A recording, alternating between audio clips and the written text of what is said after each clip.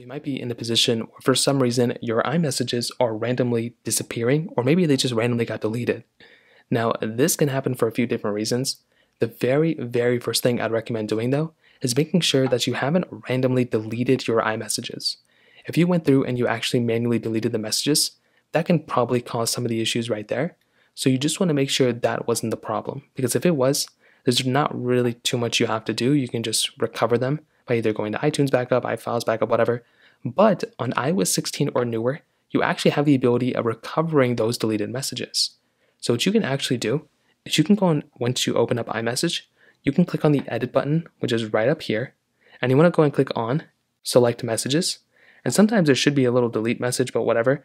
I guess if you haven't deleted any message, it's not going to show up. So in this case, we'll just delete this one. We're going to want to click edit up here once more. And then we can see a little show recently deleted option. All we're going to want to do, which is very basic, we want to click on show recently deleted and it's going to show us the actual messages that we have that were actually just recently deleted. So that's another option that we have right here. So now what we can do is we can go ahead and choose on that specific message that we want. And what we can do here is we can go and click on recover. So we can just click there and we can click on recover and we can recover these seven messages or recover how many messages. And that is an option that you have. If they've randomly disappeared, it doesn't necessarily mean that it's your fault.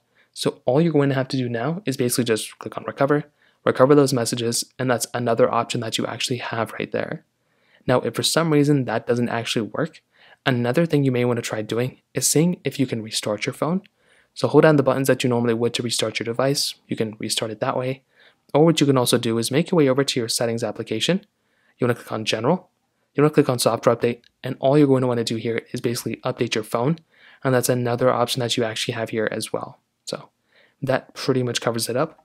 If you have any other thoughts or questions, let me know in the comment section below. Hit the like button, that'll so much, but definitely hit that subscribe button.